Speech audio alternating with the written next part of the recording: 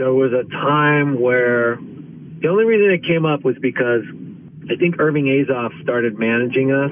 We had switched managers, and Azoff, and then Azoff started managing Axl Mm. and the new guns. Huge conflict of Scott- interest. Yeah, and then Scott got really super paranoid.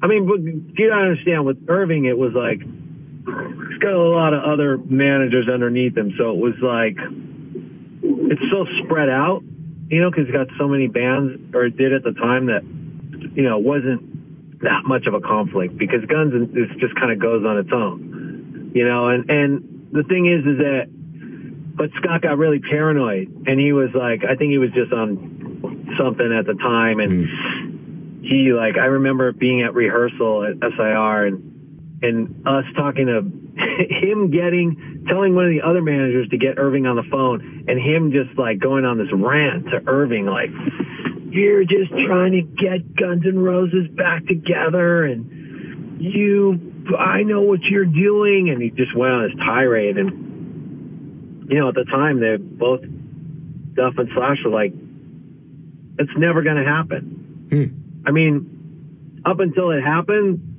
they still said it was never going to happen, Yeah. and they couldn't foresee it happening. And they were so stealth about any meetings. You know, they didn't want to tell anyone because if it gets out, you never know if it's because you told that person you thought you could trust. You know what I mean? So Sure. I didn't hear about it really till it happened.